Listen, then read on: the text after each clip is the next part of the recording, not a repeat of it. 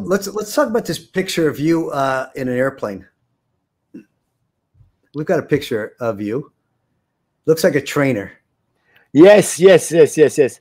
That's uh, the uh, the guy behind me there. That's Will Tinsley. He he used to fly our G four uh, when we were when we were uh, uh, heartbreaking. When we were out there heartbreaking, we used to travel in a in a G four G four fifty. That's a nice way to go. Pilot.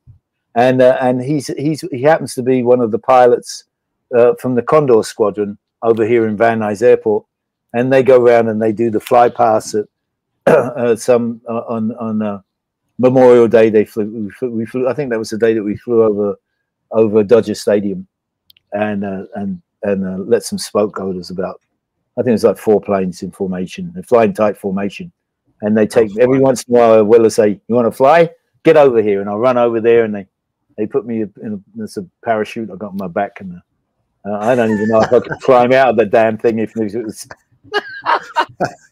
but it is really a fun thing to do. It really is fun to fly with those guys, and they, they do a great job of uh, paying respects to you know to fall, fallen police officers and firemen, yeah. and when they do flyovers at funerals and stuff, and uh, and soldiers, they're they're just an incredible incredible bunch of guys.